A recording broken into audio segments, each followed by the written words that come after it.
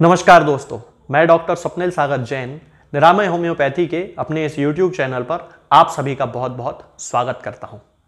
दोस्तों, बहुत सारे लोगों में ऐसा देखा जाता है कि 40 वर्ष की उम्र से लेकर और 60 वर्ष की उम्र के बीच में उनके कंधों में एक बड़ी गंभीर किस्म की समस्या होने लगती है, जिसमें कि उनके जो कंधे होते हैं, उनमें बहुत ज़्यादा दर्द होता है और उनका जो मूवमेंट होता है, यानी कि कंधे को घुमाने की जो उनकी क्षमता होती है, आगे पीछे करने की जो उनकी क्षमता होती है, वो कम होने लगती है, खत्म होने लगती है। इस कंडीशन को फ्रोजन शोल्डर या फिर एडिसिव कैप्सुलाइटिस कहा जाता है।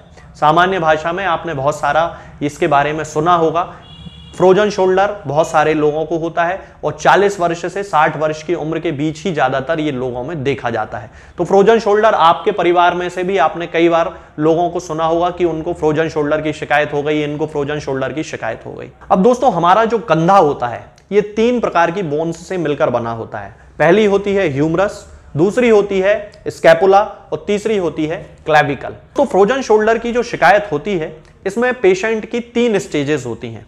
पहली स्टेज में जबकि पेशेंट के कंधे में दर्द होना शुरू होता है और धीरे धीरे उसका कंधा काम करना बंद करने लगता है।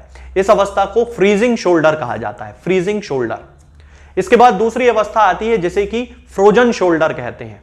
फ्रोजन शोल्डर में पेशेंट को पेन बहुत ज़्यादा सिवियर होता है, बहुत ही ज़्यादा दर्द होता है उसको कंधे में और कंधे में इतनी ज़्यादा स्टिफनेस आ चुकी होती है, इतना ज़्यादा कड़कपन आ चुका है, इतनी ज़्यादा अकड़न आ चुकी होती है कि उसका जो कंधा, एक सामान्य व्यक्ति जो कंधे को पूरा मूव कर लेता है रोटेट कर लेता है, घुमा फिरा लेता है फ्रोजन शोल्डर वाला जो व्यक्ति होता है, उसका कंधा बिल्कुल भी मूवमेंट नहीं कर पाता है मूवमेंट करना बिल्कुल बंद कर देता है।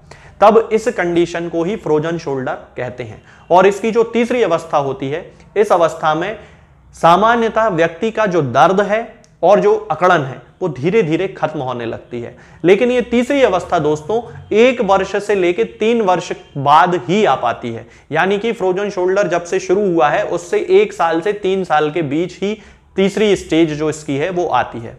अब ये जो एक साल से तीन साल के बीच का जो समय है, जिसमें कि बहुत ज़्यादा दर्द होता है और अकड़न होती है, उस अवस्था में एलोपैथी में तो फिर इंट्रा आर्टिकुलेट स्टेरॉइड के इंजेक्शन लगा दिए जाते हैं, या फिर कंटिन्यूसली पेन किलर्स खाना पड़ता है। लेकिन होम्योपैथिक मेडिसिनल सिस्टम में बहुत अच्छी अच्छी दवाएँ उपलब्ध हैं, जो कि फ्रोजन शोल्डर को पूरी तरह से ठीक कर देती हैं, और दो से तीन महीने के समय में ही पूरी तरह दर्द भी खत्म हो जाता है और स्टिफनेस यानी कि जो अकड़न कंधे में आ चुकी होती है, वो भी पूरी तरह से ठीक हो जाती है। तो दोस्तों, आज इस वीडियो में मैं होम्योपैथिक मेडिसिनल सिस्टम की तीन ऐसी दवाओं के बारे में आपसे बात करूँगा, जो कि आपकी फ्रोजन शोल्डर को पूरी तरह से दो से तीन महीने में ठीक कर देंगी, दर्द को भी और अकड़न को भी।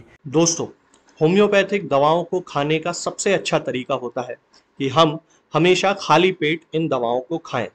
जिन दवाओं को दिन में केवल एक बार खाना है, उन्हें सुबह खाली पेट खा लेना चाहिए। मुँह में अच्छे से कुल्ला करके, गार्गल्स करके मुँह को साफ़ कर लेना चाहिए और उसके बाद हमें होम्योपैथिक दवाई खा लेना चाहिए।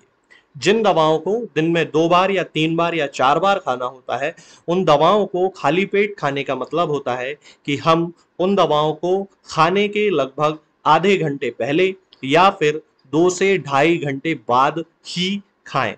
और उस स्थिति में भी हमारे मुँह में किसी भी वस्तु का, किसी भी चीज़ का स्वाद नहीं होना चाहिए, ना ही हमारे मुँह में किसी भी चीज़ की गंध होना चाहिए, जिससे कि ये होम्योपैथिक दवाएँ हमारे शरीर पर बहुत अच्छे तरीके से काम कर सकती हैं।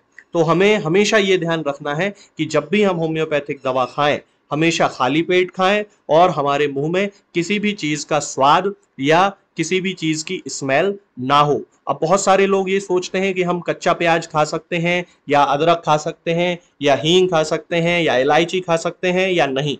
बिल्कुल आप इन चीज़ों का इस्तेमाल कर सकते हैं। होम्योपैथिक दवाओं को खाते समय आप इन सभी चीज़ों को बड़ी आसानी से खा सकते हैं।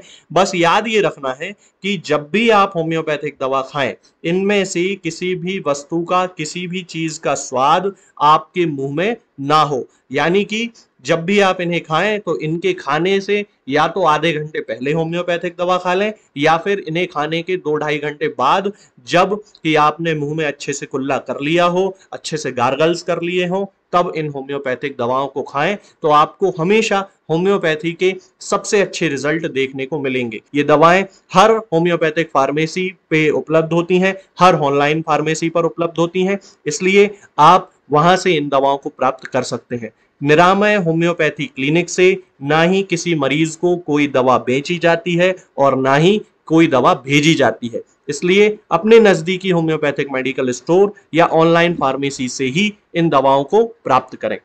इस कॉम्बिनेशन में दोस्तों, सबसे पहली जो मेडिसिन होगी, वो होगी आपकी सिम्फाइटम ऑफिसिनल। होम्योपैथी में अगर आपने मेरे वीडियोस देखते रहते हो तो मैंने पहले भी बताया है कि सिम्फाइटम हड्डियों से रिलेटेड बीमारियों के लिए बहुत अच्छी दवा है। ये न केवल सूजन को खत्म करती है, बल्कि हड्डियों की ग्रोथ को भी बढ़ाती है और हड्डी के जुड़ने की अवस्था जो रहती है, उसको भी इंक्रीज करती है। यानी कि यदि किसी को फ्रैक्चर है तो सिम्फाइटम का उपयोग वो कर सकता है। आज इस कॉम्बिनेशन में आपको फ्रोजन शोल्डर के लिए सिम्फाइटम का जो उपयोग है, वो 200 पोटेंसी में करना है। यानी कि सिम्बाइटम ऑफिसिनल की 200 पोटेंसी आपको लेके आना है। इसकी दो बूंद सुबह, दो बूंद शाम को आप चाहें तो सीधे जीभ पे भी रख के पी सकते हैं, या फिर एक चम्मच पानी में मिला के भी आप इसको पी सकते हैं। इसके बाद जो दूसरी मेडिसिन आती है दोस्तों, वो है हाइपैरिकम परफोरेटम होम्योपैथी में इस मेडिसिन का भी बहुत ज़्यादा उपयोग फ्रोजन शोल्डर के केसेस में किया जाता है खास तौर से तब जबकि कंधे में अकड़न के साथ हाथ में, जिस तरफ़ के हाथ में ये तकलीफ़ है, जिस तरफ़ के कंधे में ये तकलीफ़ है, उस कंधे में नमनेस या सुन्नपन आने की भी शिकायत होने लगे। खास तौर से उन केसेस में, नहीं तो जनरल तो सभी केसेस में इसका यूज़ फ्रोजन शोल्डर के केसेस में किया जाता है। हाइपेरिकम परफोरेटम की भी 200 पोटेंसी आपको लेके आना है और उसकी भी दो बूंद सुबह, दो बूंद शाम को खाली पेट पीना है, पानी में मिला के भी पी सकते हैं और सीधे जीभ पे रख के भी पीना चाहें तो वो भी आप कर सकते हैं।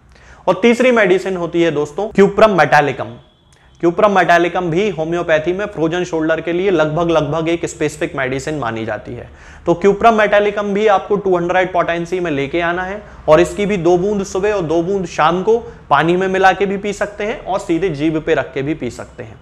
इन तीनों दवाओं का उपयोग दोस्तों आपको कंटिन्यू दो से तीन महीने तक करना है। धीरे धीरे आपका जो दर्द है कंधे का, वो धीरे धीरे खत्म होने लगेगा। जो अकड़न कंधे में आ गई है, वो भी धीरे धीरे आपकी खत्म हो जाएगी। आज के इस वीडियो में दोस्तों, फ़िलहाल इतना ही। आगे के वीडियोस में मैं आपसे बात करूँगा कुछ नई बीमारियों के बारे में और उनकी होम्योपैथिक दवाओं के बारे में। तब तक के लिए जय हिंद, जय भारत।